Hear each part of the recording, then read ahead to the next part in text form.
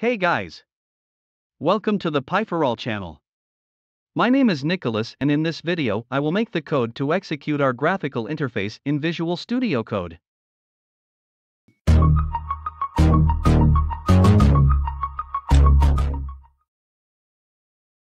With VS Code opened let's access our project folder.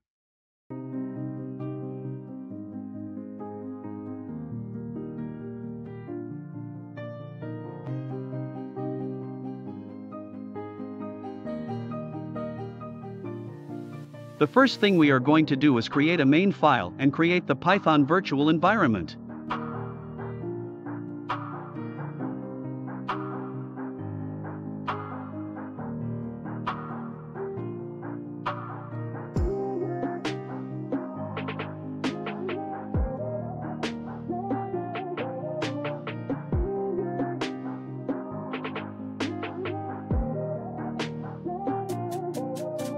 Let's click play to activate our venv and then install the necessary libraries.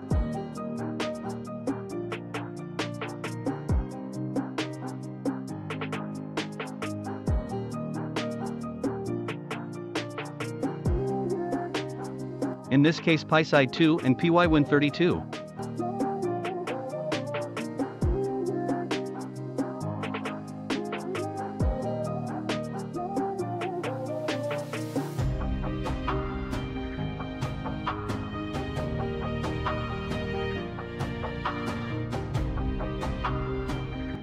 Now let's convert the files we created in Qt Designer to a Python file.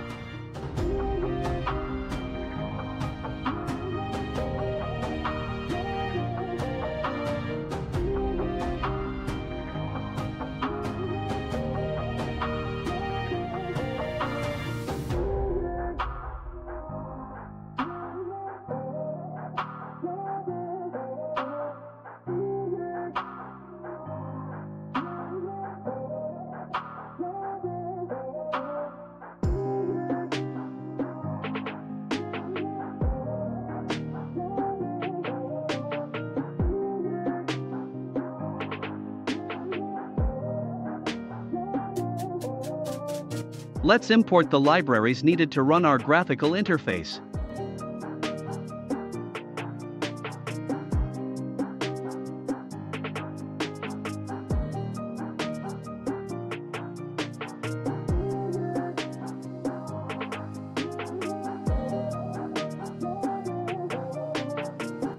In the sequence, we will create our main class that will inherit from the UI underscore main window class that we created through Qt Designer.